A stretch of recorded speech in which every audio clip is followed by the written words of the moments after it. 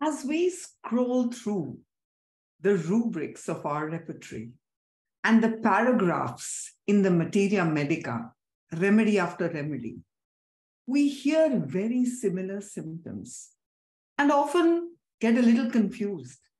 Which is the symptom I must take to prescribe the remedy?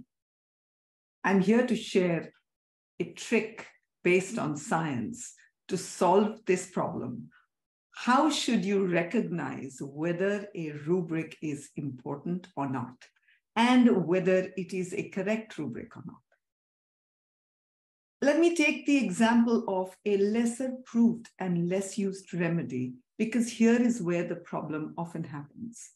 Tellurium, the metal tellurium.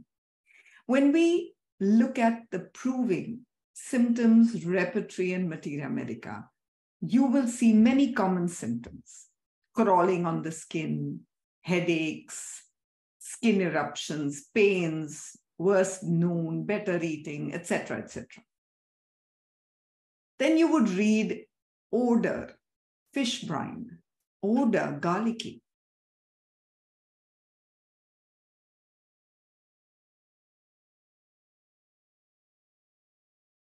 And now I and you would say, well, this at least is a specific symptom. It's not common, must be important. But then the question is, would I consider the garlicky the key aspect of the remedy or the fish brine? As I move forward, there's eruptions. Eruptions reddish, eruptions bluish. And I say, well, I know definitely bluish is a more uncommon symptom it must be the right one. But then it's a lesser proved remedy. Just one prover probably said bluish. Can I actually, you know, stake my patient's health on that one symptom of a one prover? How do I know this is correct? And then you would read eruptions, ringworm, fungal eruptions, most important remedy for it. How do I know which of it is really characteristic. And here I would look at the source of our substance. Tellurium, the substance. So we heard the proving language. Now let's hear the language of the substance. And as I open Wikipedia, you would read that tellurium gives off a garlicky odor.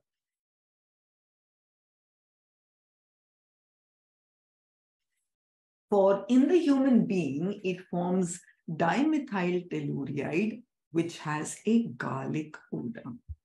Interesting. If I read the proving of tellurium, which has been done by Hering, Clarke describes the prover had to sit far away from people because of this garlicky odor coming from him. Aha, here's a symptom in the repertory but very well corroborated specifically in the proving. And it is a characteristic of the substance itself. They recognize tellurium poisoning in human beings with this kind of a garlicky odor. Then I look at the next step and I say, bluish eruptions, reddish eruptions. Is this bluish just a wrong symptom or is it a genuinely peculiar symptom? Now, we've all studied chemistry. How do we recognize metals? By the color of their flame. And as I read through further, tellurium burns with a blue flame, forming tellurium oxide.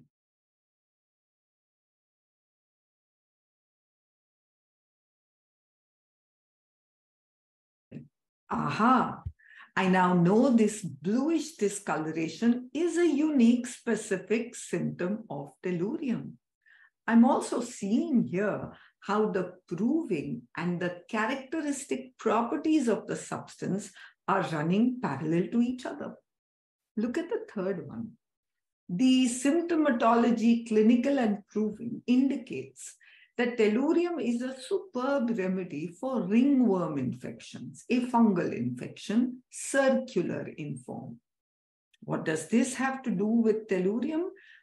without looking for the fungus, as I read through the Wikipedia or chemistry of the substance, it's biology in the human being. It doesn't have any biological use in the human being, but fungi use it instead of sulfur and selenium to form their amino acids and therefore their proteins.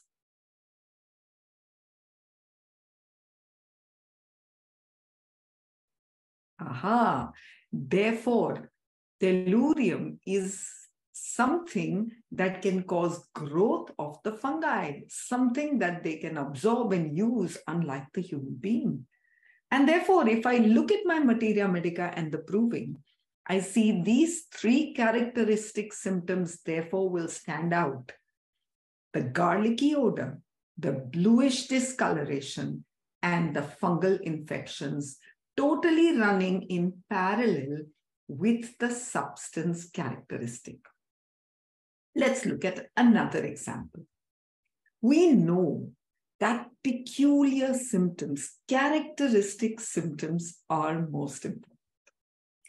Now, sometimes we get these really characteristic symptoms in the materia medica, in the repertory, and it's very exciting. And then we keep waiting for this patient to come to give us this weird characteristic symptom.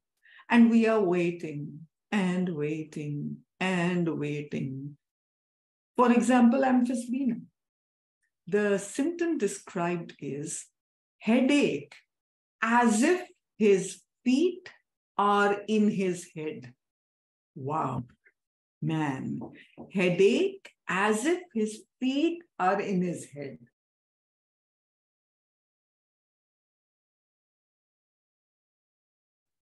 Just let one patient, dear God, come and give me this symptom. My life will be made. But they don't come.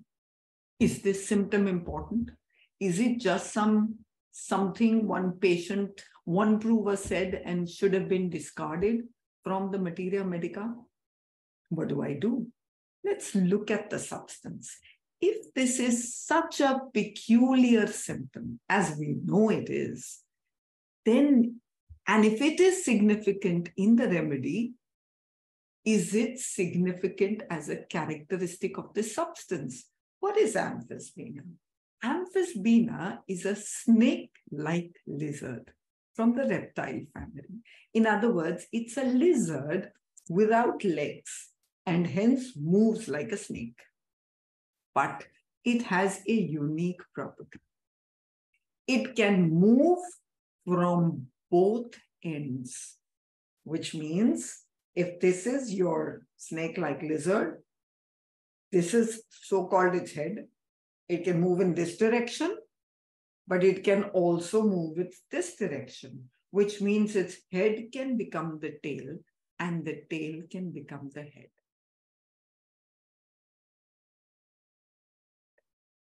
Now, when I look at this symptom and I look at the meaning of this symptom, it means the feet are in the head.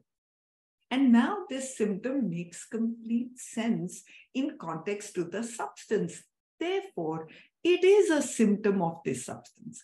Let me look at the other symptoms here. Vertigo first moves onto one side and then onto the other side. Aha! Now this is making even more sense. Therefore, I don't need to wait for a patient to come and tell me my feet are in the head. I understand what this means in context to the substance. It can move both directions. The head and the feet are interchangeable. So when I apply it to a human context, it can have pains running upwards and downwards. It can be a person who takes an action and moves in one direction of his life and then turns around and moves exactly in the opposite direction. The giddiness falls on one side and then falls on the other side. Therefore, understanding and relating this peculiar symptom to the very substance itself directly You see, this is not making up a story. Here is a direct correlation. Will tell us how to pick the peculiar symptom from the substance, but be able to apply it in the cases. How does this source of the simillimum now become part of a person's life? How does it become the patient's remedy?